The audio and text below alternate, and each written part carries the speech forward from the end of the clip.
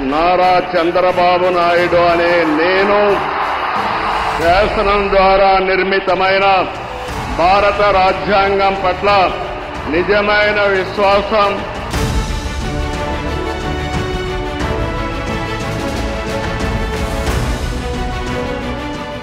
కొనిదల పవన్ కళ్యాణ్ అనే నేను